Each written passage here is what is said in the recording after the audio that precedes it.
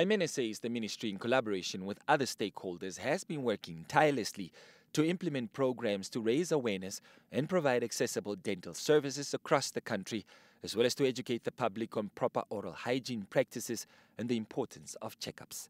Oshana region has additionally implemented mobile dental clinics in rural areas where access to such services are limited.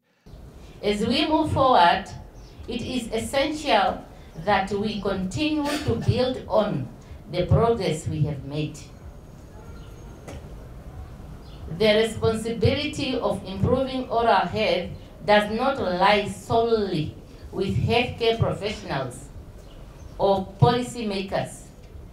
It is a collective effort that requires the active participation of individuals, families, schools, communities. We must all take ownership of our oral health and be ambassadors of change within ourselves.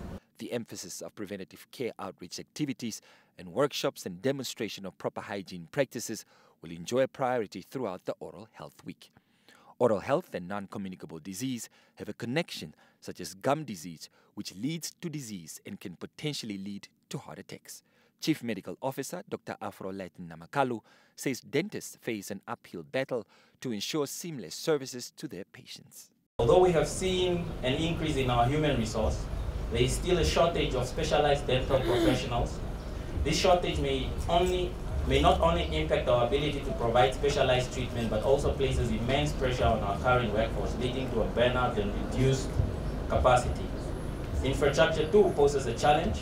Some of these, some of our facilities, especially in rural settings, lack equipment and technology needed to provide modern, efficient dental care.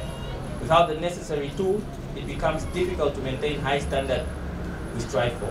The week is being observed under the theme A Healthy Mouth, A Healthy Body.